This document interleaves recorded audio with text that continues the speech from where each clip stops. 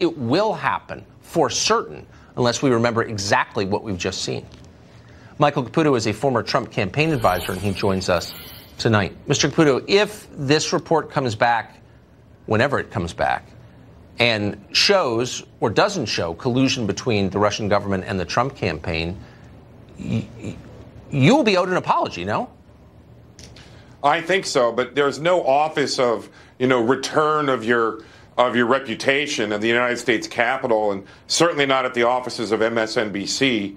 You know, Tucker, uh, you, you, look back, if you're caught in this jackpot like I am, and like Carter Pages and J.D. Gordon and others who are mere witnesses and who have been ruined anyway, whose careers have been completely destroyed, whose families have been completely destroyed as marginal witnesses, you understand that there are real key players at the in the bowels of this thing. Like, for example, you talk about Brennan, you talk about these other players at the on the in front of everyone. We have players like Dan Jones.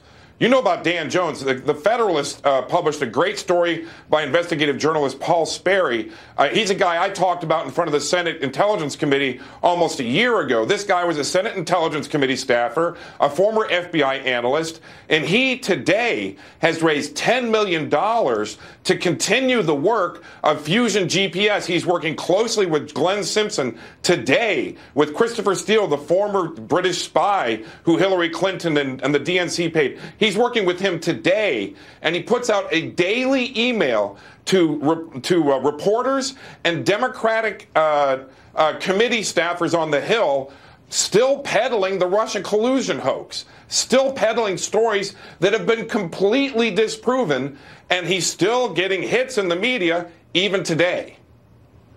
Any idea who's paying for that? Who gave him the $10 million? Yes, uh, uh, he has admitted that it's being paid for uh, by George Soros, by Rob Reiner, meathead from All in the Family, by a, a, a, a, foundation close to this Steyer character who's running this impeach Trump now deal.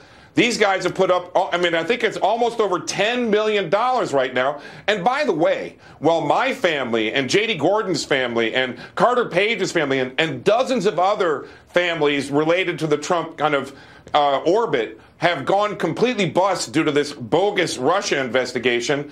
Dan Jones and Glenn Simpson and Christopher Steele, they're getting rich. Rich beyond their wildest dreams. And here's the thing, Tucker. I know you you believe and others believe that there's nothing criminal going on here, but I disagree. All you got to do is look up 18 USC 2384 and apply that to Dan Jones. If we don't have some kind of investigation to, into Dan Jones, Christopher Steele, and and uh, and Glenn Simpson and Fusion GPS, and if we find a crime uh, uh, in related to 18 USC 2384 sedition, then we have no country. We have yeah. no rule of law. Well, at the very least, we're learning who has real power in this country, and it's, it's not this administration. No doubt. No obviously. doubt. Uh, Michael Caputo, thank you very much. Luis Miranda is a Thanks, former Tucker. DNC communications director. He joins us tonight. Um, so I think it's fair to say